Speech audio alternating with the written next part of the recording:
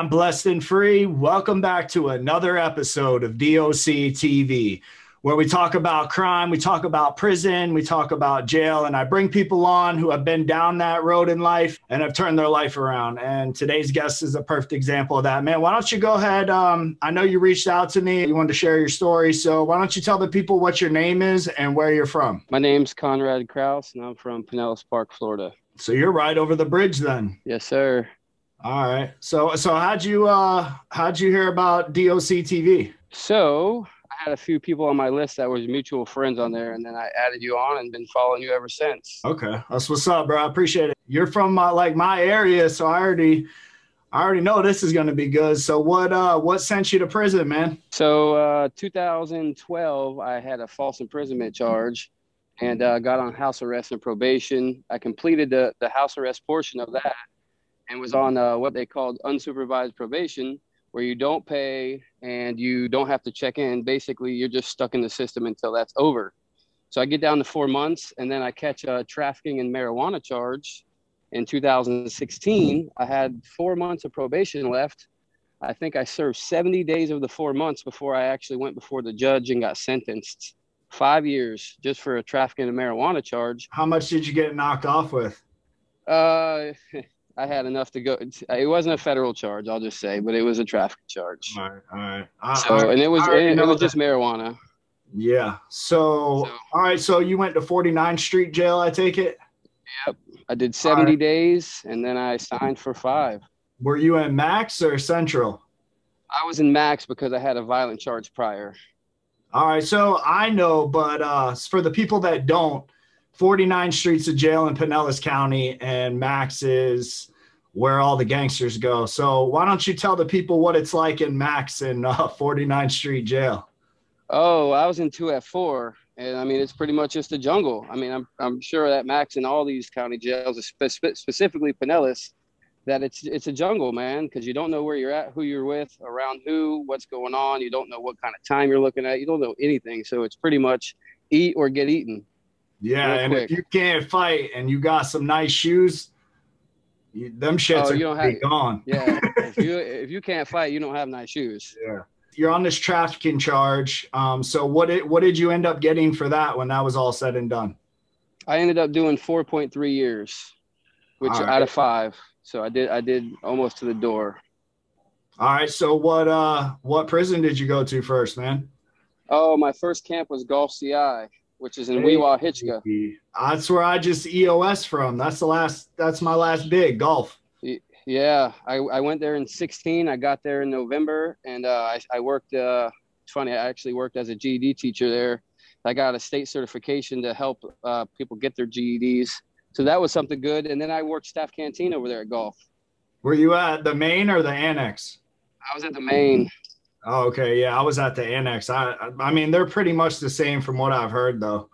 Yeah, yeah, they're just. Uh, and then when I was there, it was uh, I, talking to the obviously with the canteen job, you get a little bit more access to these people, and it was like sixty percent of gangs population there, and they're operating on literally eighteen percent of uh, workers' capacity.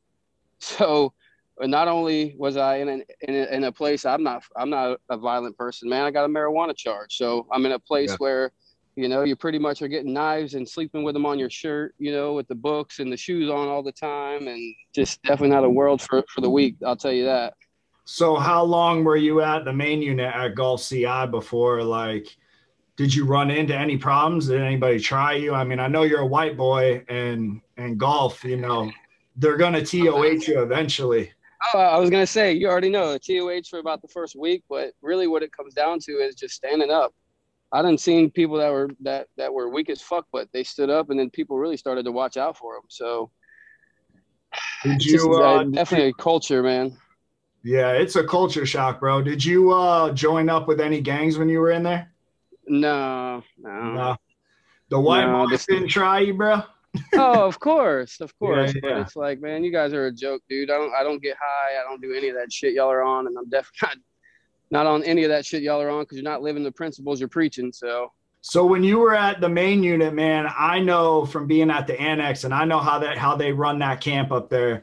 So what what did you see as far as like the corruption goes uh, with the guards? Like whether that could be Oh, on God. with inmates or whatever. My uh, about my first or second week there, I, I, I quickly realized the child molester thing where these people get put down on and pay and all that. There's some Chinese kid in there who's trying to check in, and I'm in the shower. I don't even realize what's going on because I'm still green. So I get I- I'm in the shower, and then I, I see uh, the police rushing out in the like from the laundry room into the into the dorm. I'm like, what the fuck's going on? I've never seen this shit. But they end up. I see them bring this Chinese kid trying to check in uh, to to the bathroom. Obviously, there's no cameras, and he fucking puts a knife in the dude on in the dude's jacket. It was the wintertime when I went away, and then they slammed the kid on the on his head, and I'm just like, man. All right, well, if I'm in the jungle like that, then you ain't safe about nothing. Yeah, that, and You it's like that there, bro. Like when I pulled up there, I don't know how it was for you, man, but when I pulled up to Gulf and I got out and I'd spent like my first week, bro, like man, I thought I was like back in the 70s, like at a refugee camp, bro. That shit was like that shit's like lying. We will- we will hit you. shit. Yeah, chapter 33 don't apply. Yeah, facts, bro. That's what they So- tell you when they get off the bus. So when you were at Gulf, man, like I know you said you were the canteen guy. So did you like did the guards treat you a little different than they treated everybody else? Um, I mean, of course, I, I feel like I got favor out of, Yeah. out of respect because I got to I got to actually get to know who they were on a different level. So you know, I wasn't asking about their parents or their kids or anything personal like that. But as far as you know, they can come to the window just be like, "Oh, I just found found 16 shanks," you know, and it's like, damn, like, uh, yeah, I don't want to be in those dorms there, you know. So as far as pointers, don't go there don't go there. I'm just telling you. And then someone's getting stabbed to death the next day, and I'm like, geez. Did you Crazy. have uh, people on the street that were riding with you through your bed, like family and shit? Oh, I had family. Um, I'll tell you what, man. I, I- when it comes to that, I've, I I don't think that there's anybody who's had a better support system than me, and it's not financially, man. It's just I had a child, I had full custody. Pretty much, I chose selfish actions that put me in prison, and I had to abandon those responsibilities. So they stepped up and um, really helped out. Brought her to see me. It was a thousand dollars a month for them to come visit me at the at Gulf from where I live. And they're Yeah. doing this for two years before I get transferred to Avon Park. So they took care of my kid. You know, they made sure everything was straight. So it's like a, a lot of people don't have that, and and so that's that's why I'm on this quest now. I'm going to Toastmasters because it's time for me to go into the prisons and start telling these dudes my story about how the first year I came out of prison, I made over a hundred thousand dollars off of nothing besides knowing that, believing that what God tells me He's going to fulfill, whether that's Allah, whoever they believe in. And that's the truth, man, because that's how I'm where I am now. I mean, I don't know if you see how I'm living right here, and I'm not even kidding. I've been out 10 Yeah. months. Straight up. I've been out All 10 right, months. so, so so tell them, man, how'd you how'd you make a hundred grand? Well, I had lawn equipment already before I, I went to prison, and Say- I just say no started. more, man. You got it out of the mud. That's how you got it.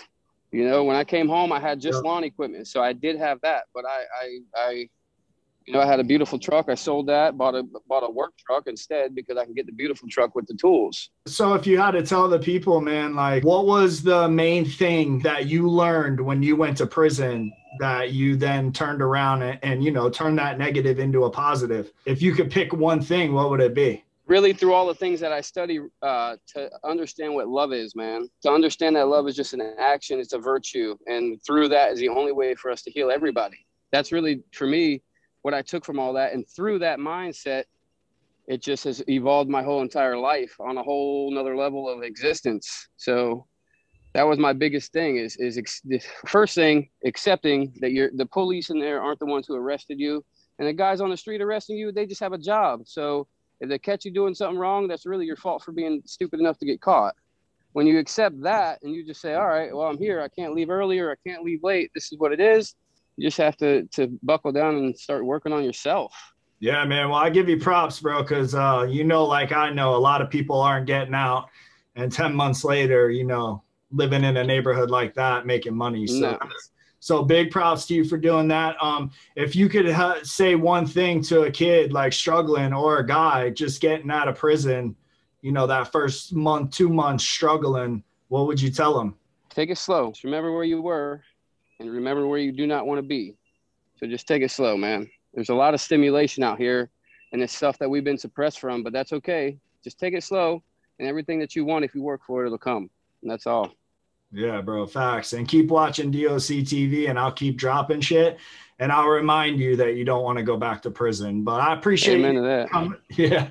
I appreciate you for coming on, man, sharing your story. And like I said before, bro, big props for Thank turning you. your life around, man. I appreciate it. Yes, sir. All if right. you guys haven't, uh, go ahead and hit that subscribe button, give this video a thumbs up, and turn your post notifications on all. So every time I do drop episodes, you can hear it first. And with that, it's DOC TV, and we're out.